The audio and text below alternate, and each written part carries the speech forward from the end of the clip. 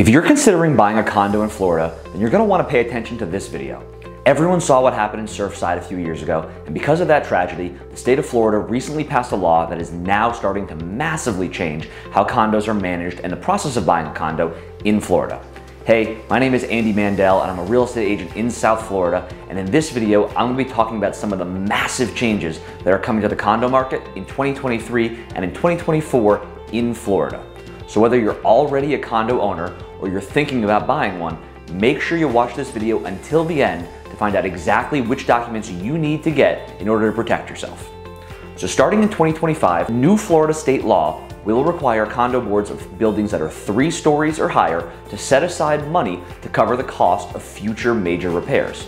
Not for cosmetic stuff like new carpet paint, lobbies, and you know stuff like that, but for major items like plumbing replacement, concrete restoration, impact windows, roofs, etc. To figure out just how much money to set aside, condo boards are being asked to hire companies to do what's called a structural reserve study, which analyzes the association's finances and the potential repair costs. The study has to be done before the end of 2024, but the new law doesn't actually state when the required reserves have to be in the reserve account, so there's a little ambiguity there. Florida has 50% more associations that do not have the recommended reserve amount than any other state. This is because previously, under state law, associations could choose to waive reserves and just deal with the problems in the future. They did not have to collect for them. Many condo owners decided to do this to keep their monthly payments lower, and the buildings have delayed the necessary repairs and upgrades way longer than they should have.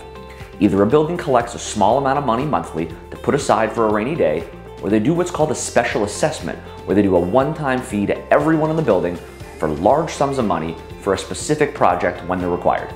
Usually this special assessment can be paid over a bunch of months or years, and if a seller sells the unit, they're required to pay that in full usually from their sale proceeds. This is what happened in Surfside. The building that collapsed needed to collect $10 million, over $10 million, but it kept pushing it off because the people who lived in the building didn't want to increase their fees. Now, many of the buildings that had delayed the maintenance and haven't been collecting money monthly to put aside in reserves are facing major special assessments of $40, $50, $60, even $100,000 or more. There are always the horror stories you hear about buyers closing on a condo and finding out 30 days later that there's a special assessment for $50,000 and the buyer had no idea and now they have to pay it. So to prevent that, our team requests all the documents that we would need to determine if there are any upcoming assessments. Sometimes management companies make this info a lot more difficult to get than it should be, but they are required to give this to the seller if the seller requests it. So we always put the onus on the seller and the listing agent to get these documents and provide them to us before we start doing inspections or spend any money for the buyer. It's important to get this info up front, otherwise if you're the buyer, you could spend over $1,000 on inspections, appraisals, association application fees, etc., only to find out that right before closing, you know, there's special assessments, there's issues in the building with insurance, and the deal's gonna die. We don't wanna waste our buyers' money, so we do this on behalf of our buyers to make sure that they are protected. Unfortunately, not everyone who buys a condo works with our team. So if you've made the unfortunate decision to have a different realtor help you buy a condo, make sure you're getting the following information from the condo association or the seller. Number one, the declaration of condominium and all of its amendments. Number two, the articles of incorporation of the condo. Number three, the bylaws. Number four, the rules and regulations. Number five, the association budget. Number six, the year-end financial information. Number seven, the frequently asked questions and answers document if the condo has one.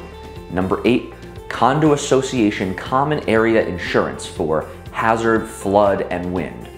And number nine, the minutes of the last four association meetings. So it's not enough to just get this information, but you actually have to read through it and make sure you fully understand what it means. This is where a professional realtor can really come in handy. Most importantly, look through the budget to see how much is being collected monthly towards reserves and look at the year-end financial info to see how much has already been collected and is sitting in an account specified for reserves. Ideally, you want to see that an association has at least 10% of whatever they collect every year sitting in a reserve account. Make sure you read the minutes of the condo board meeting to see if they're talking about any future assessments or other work that needs to be done in the building. Doing these tedious things up front and slowing the process down until you get everything can save you tens of thousands of dollars in unplanned expenses and potentially save your life.